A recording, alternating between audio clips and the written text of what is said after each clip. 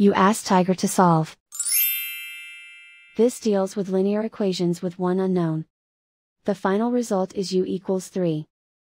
Let's solve it step by step. Isolate the u. Divide both sides by 10. Simplify the fraction.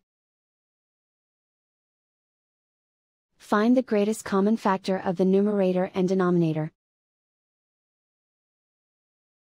Factor out and cancel the greatest common factor. And so the final result is u equals 3.